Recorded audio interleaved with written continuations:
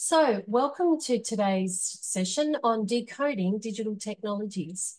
This webinar is part of a series and we're celebrating the launch of our computer science education research group's online courses uh, and they're there for educators. We'd like to thank Google Australia for funding our courses so we're able to do these updates and uh, we'll be conducting these webinar series each month.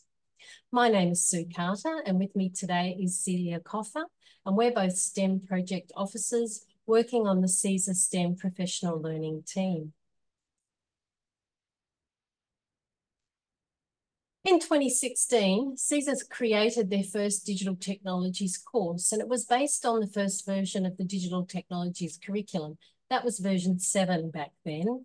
And with new this new version, uh, version nine of the Australian curriculum, which has been released and adopted, from 2023. It's time for us to update and reflect on the changes to the curriculum uh, and also changes to technology that's become available both in the classroom as well as in our wider community. So we have lots of new concepts out there. And so today we're going to look at how we might decode this new digital technologies curriculum. We'd love it if you could introduce yourself and let us know where you're joining uh, from today. Uh, if you could pop that into the chat, that would be fantastic. And meanwhile, um, we'd like to acknowledge the traditional custodians of the land that we're meeting on today. And this picture is the Kaurna Learning Circle. Uh, it's at the entrance of the University of Adelaide, uh, near the River Torrens. The Wongu poles embody the traditional ritual knowledge of the Kaurna people. And we acknowledge and pay our respects to these people and the traditional custodians whose ancestral lands the university is situated on. We acknowledge the deep feelings of attachment and relationship of these people to country, and we respect and value their past, the present, and their ongoing connection to the land and cultural beliefs. I'm joining you today from Darwin and I'm on the Larrakia land uh, and the peoples here who have a very strong connection to the land, the sea and the skies. And I'm joining you today from uh, the land of the Wurundjeri people of the Kulin Nation based in Melbourne, Victoria. So in this short session today, we're going to explore these topics of decoding this version 9 digital technology curriculum, we're going to examine the things that have changed and we're going to provide you with an overview of our refreshed digital technologies course for primary teachers. We'll just make a point now that um, today, obviously, in 30 minutes, we're not planning on educating or covering every aspect of those things. We're really just making sure that you know where you will find that information in our online courses and highlighting a few of the, the major differences. So today, we are surrounded by technology it has become part of our everyday life. We've got smart TVs, we've got smart watches and phones, we wear fitness trackers, even refrigerators now are uh, somehow connected to technology. It's all around us. The devices, the systems, the tools, um, you know, they process and they store data. Uh, it includes hardware and software. And they're just becoming so increasingly important in all our lives that it's part of our day to day life to function in society. Have you stopped to think about the technology that you've interacted with today? And I'm talking about this in terms of beyond a phone and beyond a computer. The tech is everywhere.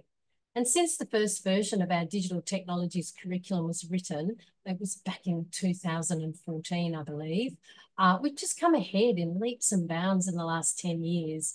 Um, and words like artificial intelligence uh, have have appeared. Um, they're highly specialized computer specialists, um, certainly not in the hands of our students. And we use technology without really thinking about it. Data is intrinsic to technology, and we share and use data in so many online activities and transactions. So version 9 of our curriculum provides these updates that reflect those changes by continuing to focus on concepts but in particular thinking skills uh, and continues to future-proof the content for years to come. So what are these changes? It's important to understand how the digital technologies um, uh, subject, not the learning area, it's a subject within the learning area of technologies, and look at how much it has changed. Look, we've still got these two strands of knowledge and understanding and processes and production skills. That hasn't changed, but they're still very interrelated. But one thing you will notice that we've highlighted in orange here is this new strand or substrand called privacy and security.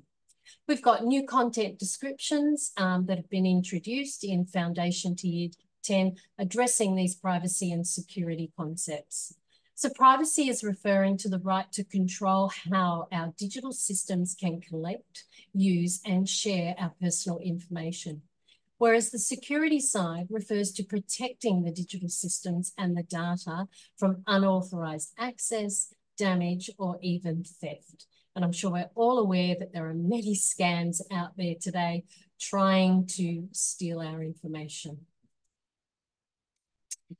So there are a number of changes in the Australian curriculum from version 8.4 to version 9 of our digital technologies. basically, the overall organisation of the content has been tidied up and, and um, refined. What they've done is they've separated the foundation level out. So it was originally F to 2. Now foundation has its own content descriptions and then years one and two have their set of content descriptions. And that's so we can provide some clarity around what we expect at those different year levels. As I just said, we've got this new substrand of privacy and security, and it's kind of revised uh, along with digital literacy continuum as well. There has been a splitting and a rewriting of some of the content descriptions, and that's been done to clarify their intent. And what we want to be able to do is help teachers to better understand what to expect and what to teach uh, in this, what is really relatively new subject. We've removed the duplicated content, um, and particularly I'm looking at data where collection interpretation uh, content descriptions are now addressed in the mathematics F to 6 part of the curriculum. And there is this shared focus on data between these two areas. And of course, we've refined and restructured the band level description so we can provide some clarity on things like computational thinking, the design and systems thinking, and relate the content to what looks like for students in the classroom. And in particular, this new focus of user stories, which kicks in at year three. So as part of the CSER professional learning team, what we've got available for teachers um, for their own professional learning uh, and to assist them with teaching against the Australian curriculum, we have just relaunched this Decoding Digital Technologies. It was um, technologies foundation for primary years, uh, but a lot of the content has been refreshed, renewed, and updated. Just keep in mind, we also have um, a course called Digital Technologies Plus X, and Plus X means another learning area. It could be science, it could be maths. Uh, we could look at it with sustainability as well. That is available, uh, and we'd encourage you to maybe take a look at that one as well. Coming soon will be our AI in the classroom.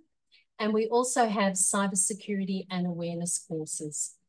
And just on a, another part of it for professional learning is the Maths in Schools uh, project. And there are courses uh, for F to 2, 3 to 6, and 7 to 10. So now what I think we'll do is take a look at our um, course live rather than me flipping through a whole lot of pictures in a PowerPoint. So I'm just going to change over, uh, stop sharing my screen and take you live into our course. Yes. That's why Sue does that. Just a reminder that all all our um, projects are fully funded, um, so they are uh, free of charge to all teachers. We would highly recommend you um, becoming a team in your school and doing the courses together um, because that way you get to um, feed off each other's enthusiasm as well as um, prior knowledge and new learnings. So um, it's a great way to um, conduct the courses. All right, does that look okay, Celia? Perfect. All right, so Uh, I'm in our course right now on our homepage, and I just want to draw your attention to these two parts here um, of home and modules. When I'm on the homepage, I'm at this welcome page where it gives me a little bit of an overview of our course structure. And what we do have is a pre-survey.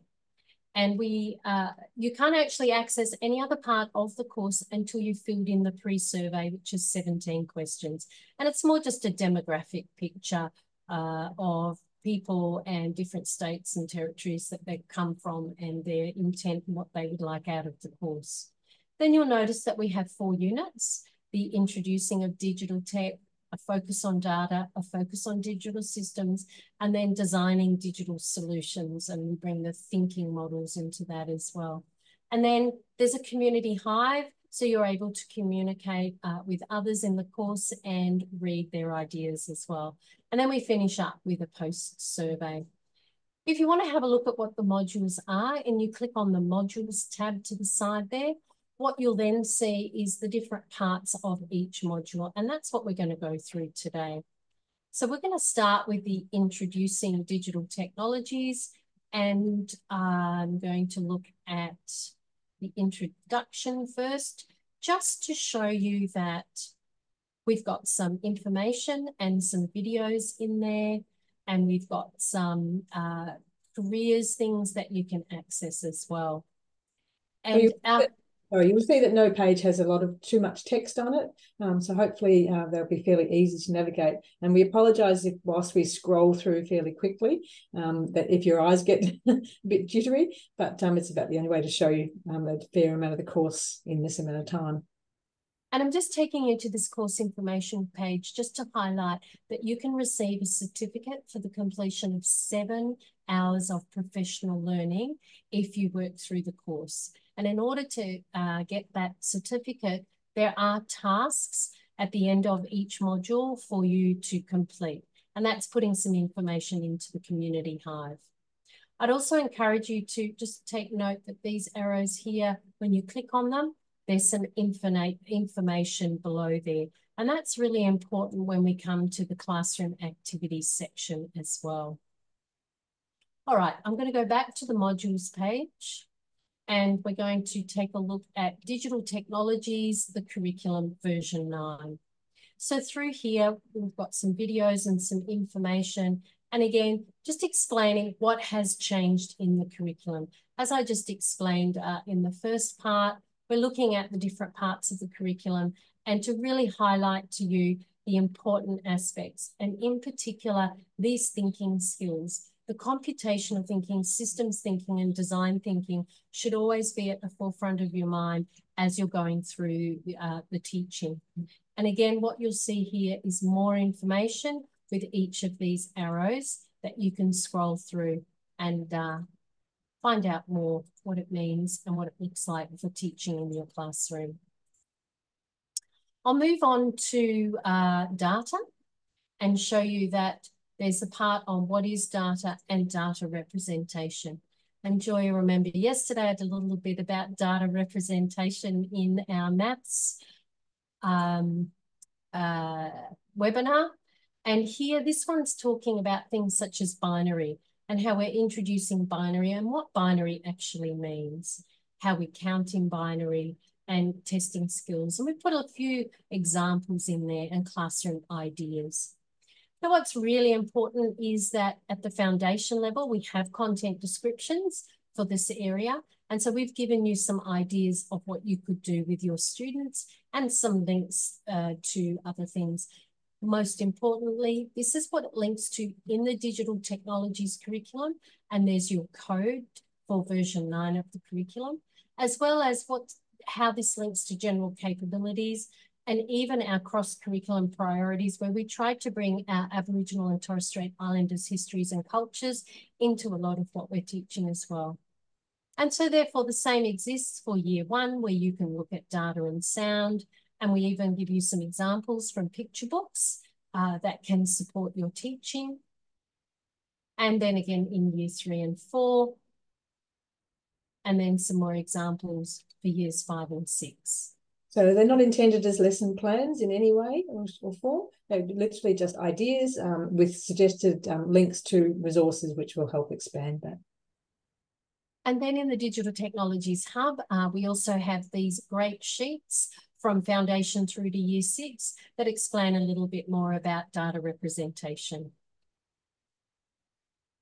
The next one is all around acquiring, analysing and visualising data. And the reason I'm bringing this to your attention today is because this is the shared focus where you'll find the content descriptions actually in maths rather than in digital technologies for the primary years. So it's really important that we're connecting with statistics of mathematics in our teaching of digital technologies.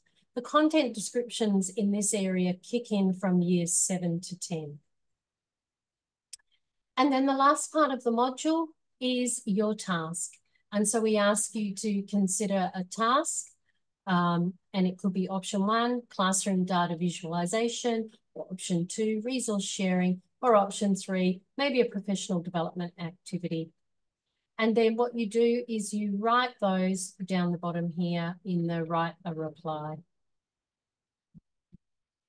So the other people's replies become uh, just as valuable as the other material in the course because when other teachers share their ideas, who doesn't want to have a look at what other ideas are that another teacher presents? So our, our communities have been one of the highlights of our courses and they continue to be a big focus. And then we've got digital systems, and I'm going to go straight into the privacy and security section because this is definitely new information for us all to consider. And so we've got some ideas here to share with your students about what is private information and what is public information and helping our students to actually understand what information is, what data is, and what is good to share and not share. And this is about keeping um, our students safe but also them learning about how to keep their information safe. So we go through a few examples here on what sort of things, and there's a little thing for you to try. What do you think is personal and uh, personal information? We go into digital footprint and identity, and we have some resources that are also available on YouTube that you can take a look at. And we also encourage you to look at the things on the eSafety Commissioner's website as well, such as Be Deadly Online. We then go into the behaviours and about um, the best way that we can behave, particularly with what we refer to as passphrases. We've often talked about passwords, and passwords are starting to become easier to decipher. And so now we're encouraging people to maybe look at something a little bit more complex that might be a passphrase and you've probably experienced uh, two or multi-factor authentication where just typing in a password or phrase isn't enough and therefore you need to then verify against um, a, an app system that might have numbers uh, or against a text message or even against some um, questions that you need to answer. Then we get down to the classroom ideas for privacy and security. And you'll notice again, we have them from foundation through to year six because each of these levels do have uh, content descriptions attached to them. And so we've given you some ideas of what you can do along with some um, downloadable resources. So here you can get a PDF version of these data cards that we've created. And of course, everything is connected back to digital technologies. We've included the maths connections there, as well as general capabilities. Then if you open up, you can be specific about what you'd like to look at for the year one, two students. And we've given you some further resources within the eSafety Commission to look at.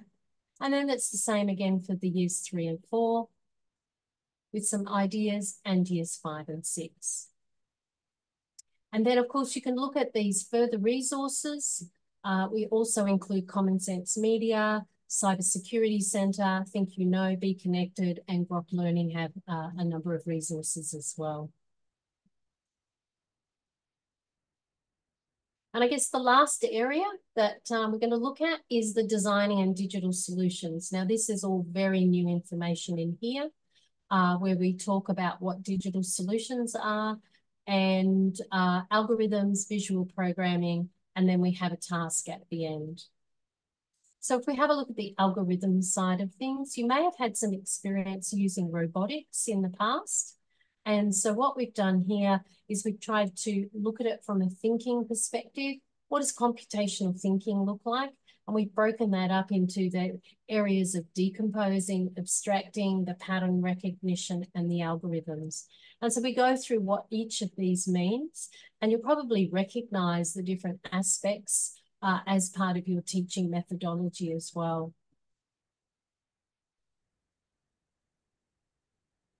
And there's some uh, references also to the uh, ACARA's Digital Technologies in Focus project and a lot of their resources as well. Then we're looking into plugged and unplugged ideas of algorithms because, again, you can do things with robotics uh, or, or other digital technology tools, or you could be doing things that are in an unplugged way, which is without a, an actual device, uh, but it gives the concepts and the understandings. Uh, and a lot of that work has been done by Tim Bell with his CS Unplugged uh, website uh, from the University of Canterbury. You notice here under classroom ideas for algorithms that foundation is missing and we've only got it from years one to six. And that's because there's no specific content description at the foundation level uh, around algorithms. So again, we encourage you to unlock these and have a look and see what sort of ideas uh, that are presented and work through some of the resources.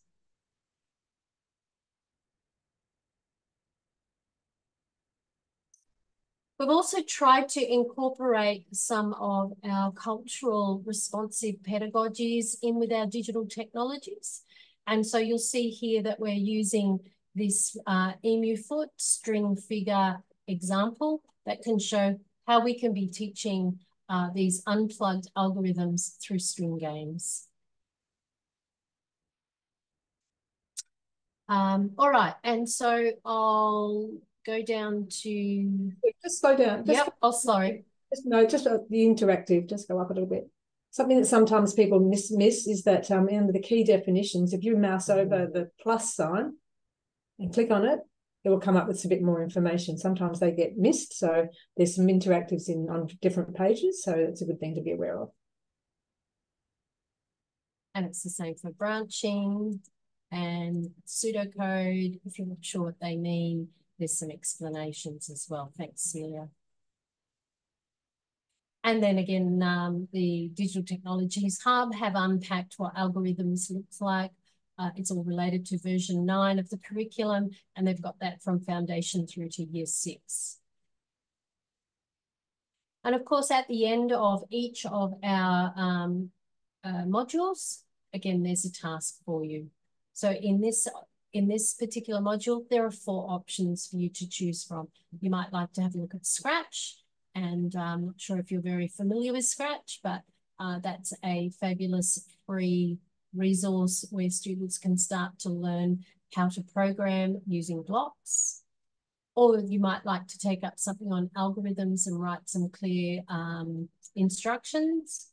Uh, you might like to share a classroom resource uh, or develop a user story. And each of those those are covered in the prior module before that. So there's a whole section on Scratch and a section on user stories as well. And we pop our replies in this section here. And then as you scroll down, you'll be able to see entries from other people. So Celia, have I left anything out? Um, just scroll through. I don't think so, except for the fact that you can do the um, the course in any order you like after you've done the original um, uh, after you've done the original survey. Um, but otherwise, no. And the the tasks are optional, but they are the way that you will complete the course if you want to get a certificate for it. All right. Um, I'll switch back now to the presentation. Perfect. I'm not sure I'll stop sharing to do that. Oh, there we go. In the meanwhile, if anyone's got any questions, because we, we know we're doing a super speedy session, if anyone's got any questions that you feel like we haven't covered yet, we're going to show you a few more resources. But if you've got any particular questions that you'd like answered um, pop them in the chat. Um, did that work? Nope, you're still back on the course. How about that? Yes, but you need to change this display setting. Oh, I see, because I shared the wrong one. Okay. There we go. Beautiful. Um, all right. So do you want to share about this one? Yeah, sure. So um, throughout the course, um, often at the bottom of the pages, you see we have also scattered through a number of resources that have been put together by CSER along with Refraction Media, the people who write um, careers in STEM.